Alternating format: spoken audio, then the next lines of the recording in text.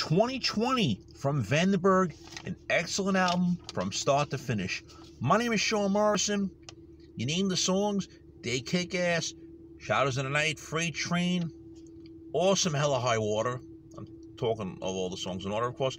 Let It Rain, another awesome song, Ride Like the Wind, and it's not a remake of that Christopher Cross classic. Shout is an excellent one. So is Shitstorm, as well as Light Up the Sky. And we also um have the um newer version of Burning Heart. It's fucking awesome. As well as the closing track, Skyfall. Give them all a listen. You will not be disappointed.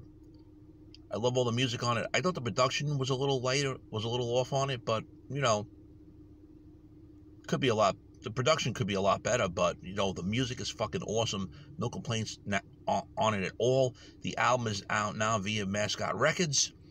You got to get it. Vandenberg 2020, new album from Adrian Vandenberg with a new lineup, and it's goddamn awesome.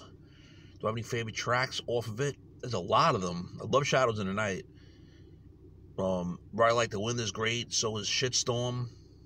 You know, even Light Up the Sky, you're gonna feel that Whitesnake feel to it from the 1987 album. You're gonna get a lot of Whitesnake feel on this album. Vandenberg 2020. Mr. Morrison says, you will not be disappointed.